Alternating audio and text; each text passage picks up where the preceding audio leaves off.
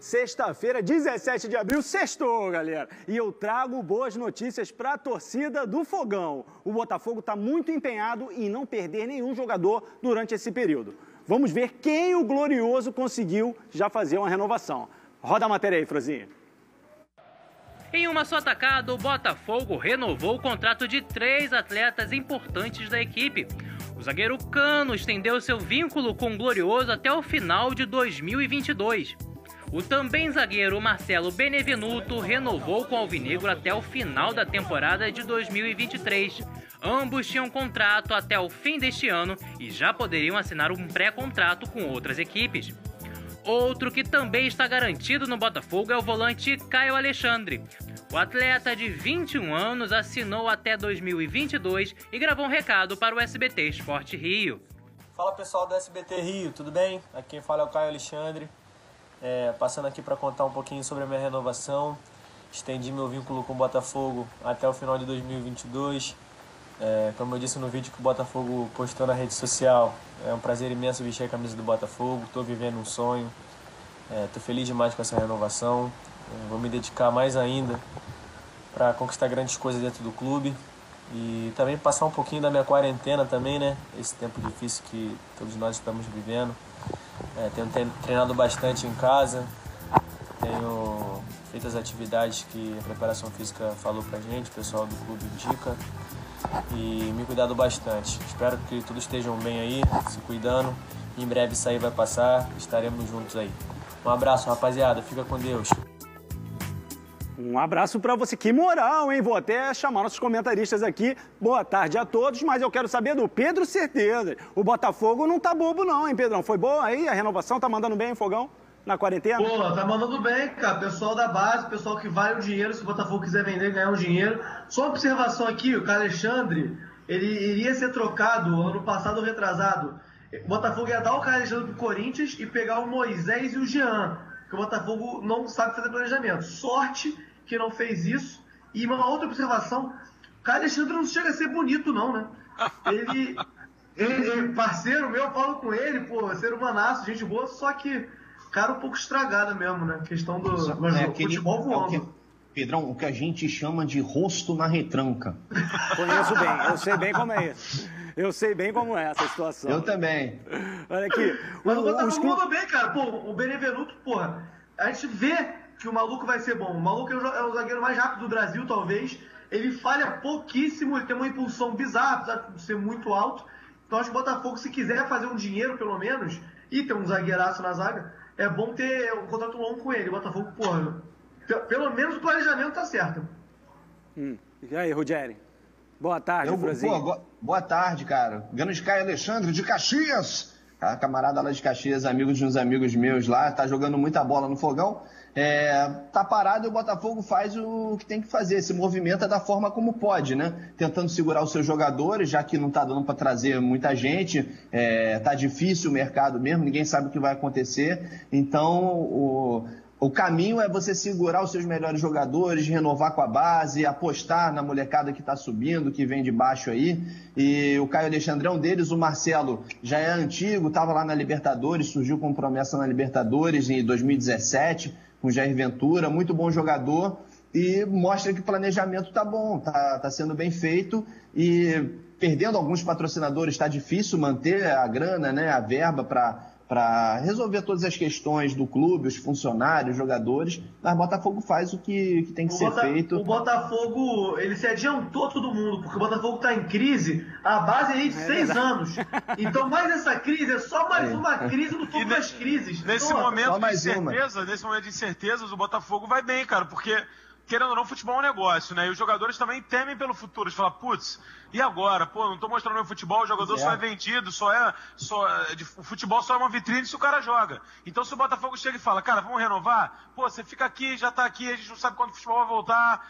Isso facilita as coisas. Então, assim, tem que saber também a situação que a gente está vivendo, o momento que a gente está vivendo e jogar o jogo da forma é, que, o, que o negócio comanda, né? Perfeito, é, eu, tenho, eu, tenho, uma informação aqui, tem, tem informação, informação, mas o, o Marcelo Benevenuto ainda não assinou esse contrato, não. Tá? Ele está em Resende, os outros jogadores estão no Rio de Janeiro, o tá Marcelo Benevenuto está voltando, é, está esperando voltar é, da quarentena, ele está com a família dele em Resende, para assinar. É bom lembrar. Falta a caneta BIC encostar no papel. É, é. Ele, Olha o cara aqui. apaixonado pelo Botafogo, o cara apaixonado pelo Botafogo, não tenho dúvida que vai assinar. Eu só estou falando que de fato não está no papel, porque ele está com a família dele de forma correta, cumprindo a quarentena. Perfeito. Assim que acabar isso tudo, assim que ele tiver disponibilidade de voltar, não tenha dúvida que ele vai dar o autógrafo lá para assinar. É, maravilha, maravilha. Agora, tem que ter uma, uma preocupação aí na hora de assinar, não botar o álcool gel na mão que pode melar o contrato. Aí desanda é, o negócio. E, e ele tem que trazer a própria caneta a própria de caneta. É verdade, é assinar.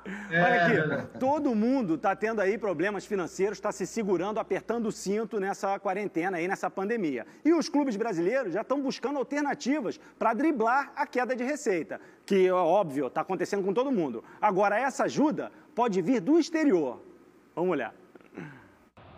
Uma receita extra promete aliviar os cofres dos clubes.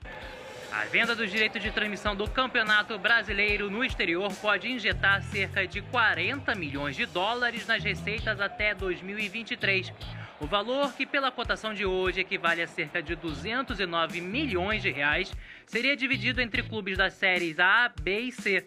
Os 19 clubes da Série A aceitaram a proposta, menos o Atlético Paranaense, que sequer quis participar das reuniões por discordar dos valores. A definição de qual será a empresa que venderá os direitos de transmissão no exterior será feita hoje à tarde em uma videoconferência. Mas quem é o atleta? Ah, Frozinhas, e aí? Essa grana que vem de fora pode salvar aí os clubes? Vem numa boa hora, não é não, Casimiro? Vem numa boa hora, mas é muito pouco, porque divide entre as três divisões, é, há algumas divergências ainda, está bem complicado, eu acho que para os clubes é, acharem essa nova receita, de onde vai vir esse dinheiro, é, eu acho que é melhor não perder tempo procurando outras receitas, porque não tem. Não vai ter, cara. E assim, os clubes vão passar por desafios agora muito complicados. É o caso, por exemplo, do sócio torcedor. É, alguns sócios torcedores estão sendo cancelados de todos os clubes.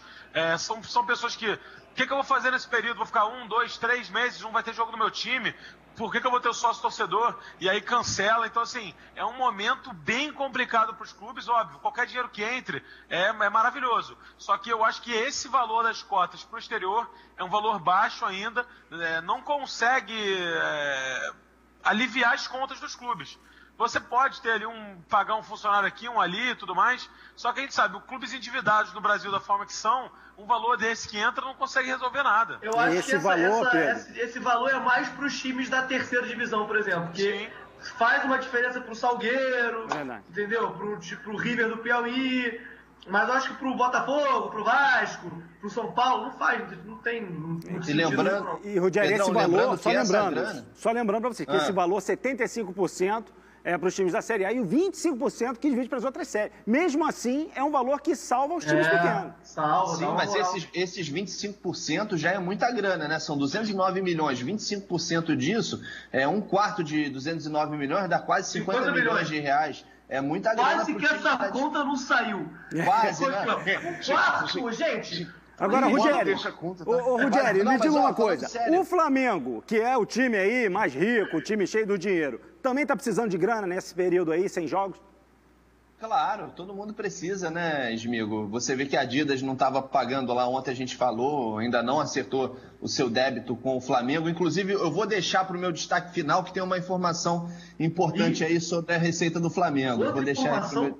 É, uma, uma então, informação guarda, não então... tão boa pro torcedor. Então, Mas, ó, eu queria dizer também que, o Casimiro, que os sócios, o programa de sócio torcedor é, de vários clubes, os clubes eles não estão dando a atenção necessária. Eles estão deixando lá o pessoal pagar e não estão fazendo nada pelo sócio torcedor, sabe? O, o, o, preço continua igual, eles precisam contar com essa receita, mas tem que ter uma maleabilidade. É, pô, tipo, sorteia uma camisa, faz alguma é, coisa assim. É porque é muito, é muito complicado, né? Você fidelizar esse torcedor no momento de crise. Então o cara vai tentando tirar daqui, vai tentando tirar dali para pagar aquilo, aquilo, outro ele fala putz, eu vou cancelar meu sócio torcedor, porque tá é muito isso, complicado. Verdade. Tem que ter um amor muito Ó, grande pelo clube e colocar acima de muitas coisas para continuar isso. pagando. Só a última coisa, Esmigão, esse, essa grana que vem do exterior é uma grana é, além do que o, o, as empresas brasileiras já pagam de direito de transmissão. É uma grana de é fora. Não tem nada a ver com direito de transmissão e exclusividade. Agora eu quero saber uma coisa de vocês. Eu sei que vocês estão morrendo de saudade dos atletas, de ver os ídolos de vocês, perfeito?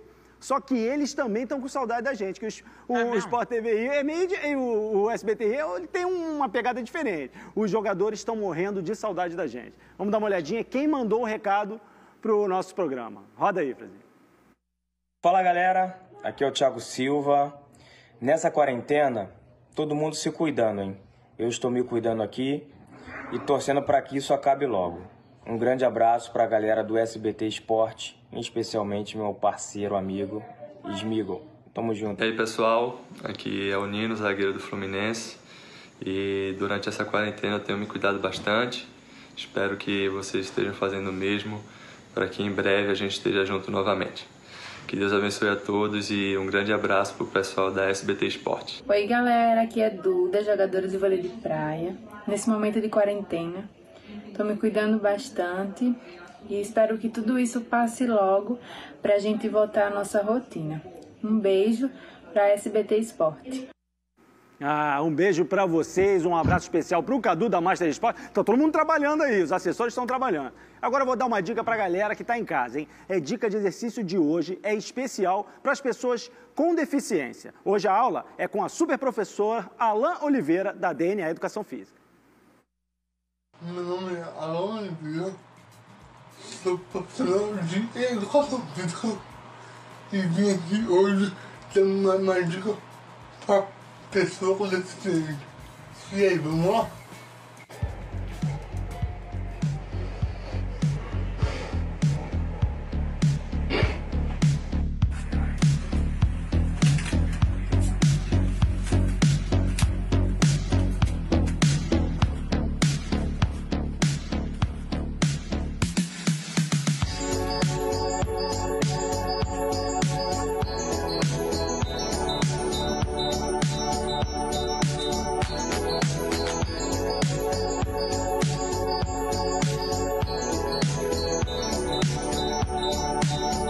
Você tiver alguma dúvida, vá lá no nosso Instagram, DNA Educação Física, e tire a sua dúvida.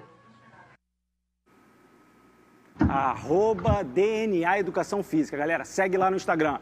Vamos para o nosso comentarista? Vamos não, vamos para um break rapidinho e a gente volta já. rapidinho. Ah, meu Deus.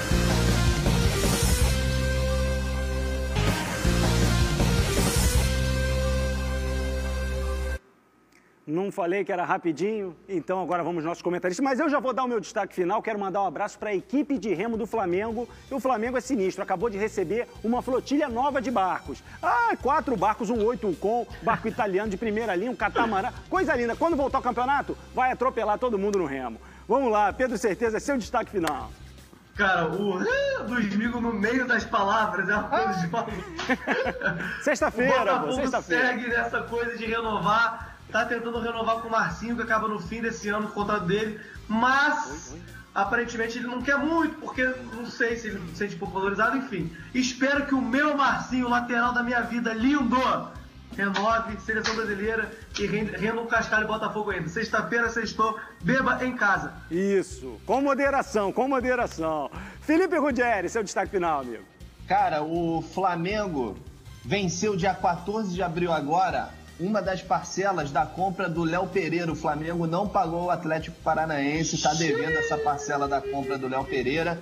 Porém, o Atlético já está sabendo, óbvio que não recebeu dinheiro, mas aceitou as desculpas. O Flamengo falou, o Bruno Espina falou que o Flamengo tem que renegociar alguns contratos. É. O, a parcela do Michael está em dia, só vence no segundo semestre, a próxima. Então tá tudo certo, mas a Adidas não pagou, o Azeite Royal rompeu com todos os outros clubes do Rio, então é complicado. E o Flamengo estava estudando aí a possibilidade de voltar aos treinamentos, o que não faz sentido nesse momento. O... Tem que se preservar, tem que ficar em casa, esperar uma definição de tudo aí que está acontecendo, para aí sim voltar. Inclusive o Montenegro lá do Botafogo deu uma esculachada no, no Flamengo em, em, relação a isso, em querer voltar. Ih, assunto para semana, hein? Assunto para é. semana. Vamos é. lá, Casimiro, meu amigo, bom fim de semana. Bom fim de semana pra, pra rapaziada. A minha última, cara, não é sobre o Vasco, é sobre o Madureira, cara. Um momento complicado.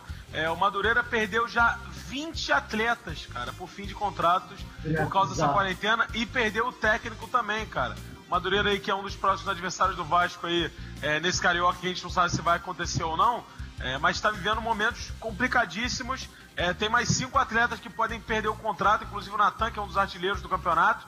Uma situação complicada. A gente falou aqui do dinheiro que entra para os grandes e salvaria os pequenos. É esse tipo de situação que esse dinheiro salva. É, o, os, e os jogadores também, né, Cazé? Os próprios Exato. jogadores. O Igor Catatal é. foi no programa, estava bem, poderia arrumar um contrato bom aí e tá parado. Exato. Vamos ter que aguardar, né, galera? Vamos ter que aguardar um pouco mais. Eu agradeço demais aí o carinho de todos vocês. Desejo um excelente fim de semana e segunda-feira a gente tá de volta. Um beijão. Sextou, galera. Bom fim de semana para todos. Ah! É nóis.